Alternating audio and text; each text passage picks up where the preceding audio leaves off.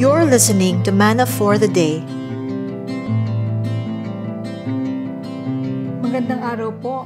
I hope you are doing well and that you are experiencing the goodness of God.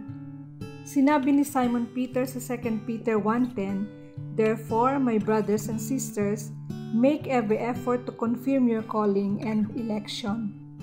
Ang 2 Peter chapter 1 ay liham ni Apostol Pedro sa mga mananampalatayang hentil na tayo ay kabilang.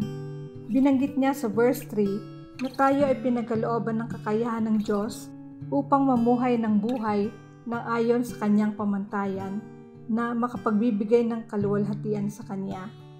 Sa verse 4, at dahil dito ay pinagkaloob niya ang mahalaga at napakadakilang pangako upang sa pamagitan nito ay makabahagi kayo sa kabanalang mula sa Diyos.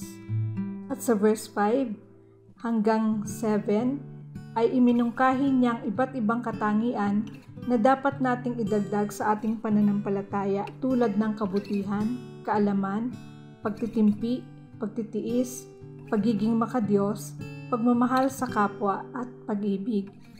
Ayon kay Apostol Pedro, ang mga ito ay mahalaga upang hindi tayo matagpo ang hindi epektibo o hindi namumunga sa ating Panginoong Heso Kristo.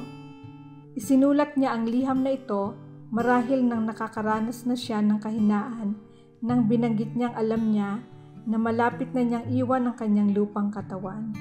Ganun pa man, ay masidhi ang pagnanais ni Apostol Pedro na ipaalala sa atin na mamuhay tayo ayon sa pagkakatawag sa atin bilang mga anak ng Diyos. Hinihimok niya tayong makamit ang divine nature ng ating Panginoong Hesus. Ito ay hindi madali o simpleng gawin. Ang ating kaaway, ang Diablo, ay aktibong kumikilos upang tayo ay hilahin papalayo sa Diyos.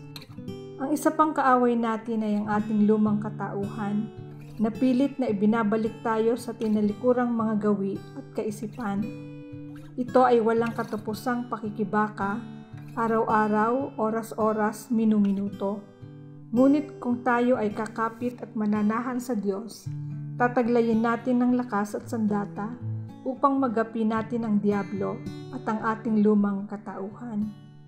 Napakaganda ng sinabi ni Apostol Pedro sa 19b, Mainam na ito ay inyong sundan na gaya ng isang ilawang lumiliwanag sa isang dakong madilim hanggang sa pagbubukang liwayway at ang tala sa umaga ay sumilang sa inyong mga puso.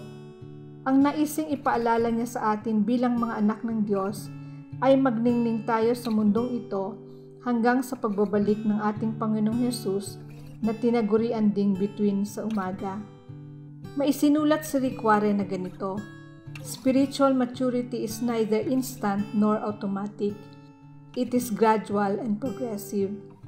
Kailangan may consistent effort may struggle to win, may ability to resist, may eagerness to achieve, may desire to triumph and be victorious.